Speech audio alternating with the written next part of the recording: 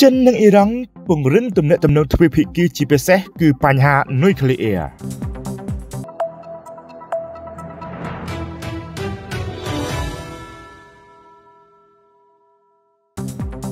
កាលពីថ្ងៃទី14កុម្ភៈកន្លងមកនេះលោកឈិនកាងរដ្ឋមន្ត្រីក្រសួងការបរទេសចិនបានជួបជាមួយនឹងលោកហ៊ូសៀនអាមីអមឌុលឡាហ៊ីនរដ្ឋមន្ត្រីក្រសួងការបរទេសអ៊ីរ៉ង់នៅក្នុងទីក្រុងប៉េកាំងប្រទេសចិននៅក្នុងឱកាសរដ្ឋមន្ត្រីក្រសួងការបរទេសអ៊ីរ៉ង់ធ្វើដំណើរទស្សនកិច្ចមកកាន់ប្រទេសចិន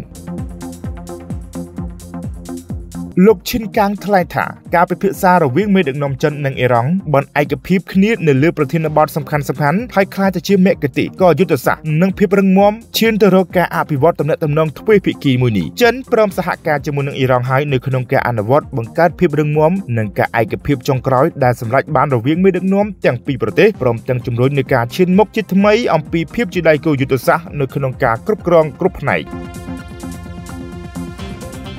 លោកឈិនកាងបន្តថាចិននិងអ៊ីរ៉ង់គួរតែបន្តគាំទ្រគ្នាទៅវិញទៅមកនៅក្នុងប្រធានបទពាក់ព័ន្ធនិងផលប្រយោជន៍ចម្បងរបស់ប្រទេសទាំងពីររួមទាំងជួយគ្នារក្សាប្រយោជន៍រួមរបស់ប្រទេសកំពុងអភិវឌ្ឍទាំងឡាយរហូតដល់ការពារយុទ្ធធម៌រវាងប្រទេស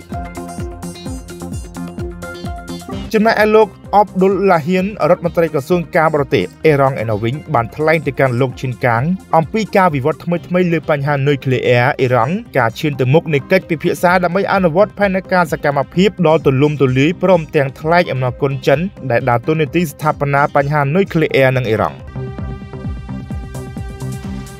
រដ្ឋមន្ត្រីក្រសួងការបរទេសអ៊ីរ៉ង់បានបន្តទៀតថាអ៊ីរ៉ង់ផ្ដល់ភាពសំខាន់យ៉ាងខ្លាំងចំពោះសម្ព័ន្ធភាពនិងបង្កើនកិច្ចសហប្រតិបត្តិការរឹងមាំជាមួយនឹងចិនការទំនាក់ទំនងរួមទាំងបន្តគ្រប់គ្រងទៅវិញទៅមកទៅលើបញ្ហាទំនាក់ទំនងនិងប្រយោជន៍ស្នូលរបស់ភាគីនីមួយៗក្រៅពីនេះរដ្ឋមន្ត្រីក្រសួងការបរទេសចិននិងអ៊ីរ៉ង់ក៏បានផ្លាស់ប្ដូរយោបល់គ្នាអំពីបញ្ហានៅក្នុងតំបន់និងពិភពលោកដែលចិននិងអ៊ីរ៉ង់ចាប់អារម្មណ៍រួមគ្នាផងដែរ